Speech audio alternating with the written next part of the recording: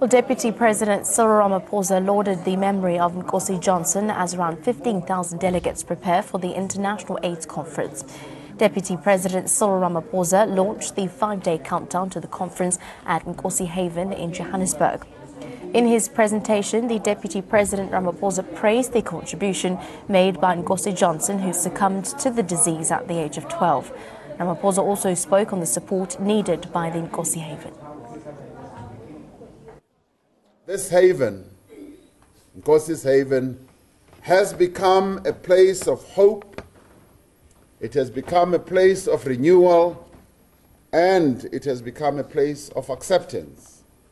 It is a sanctuary for mothers, mothers who need another chance to be in the lives of their children away from the scorn of the ignorant and the brutality of abusive men and an uncaring society.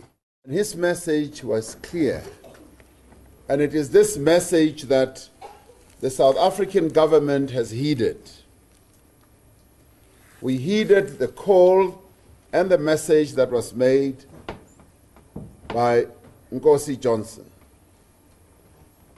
Whereas in the year 2000, we were all over the place and not providing the care, the love to people who are suffering with HIV AIDS.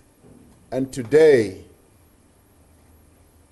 largely also because of the call that he made, we now have 3.4 million people under treatment taking antiretrovirals.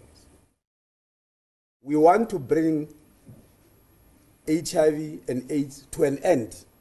We are working towards that end. There are quite a number of people who are still skeptical about it, but that's our dream. From what we have seen here, from what we have heard, HIV and AIDS has caused enough devastation. It is time that we must bring it to an end.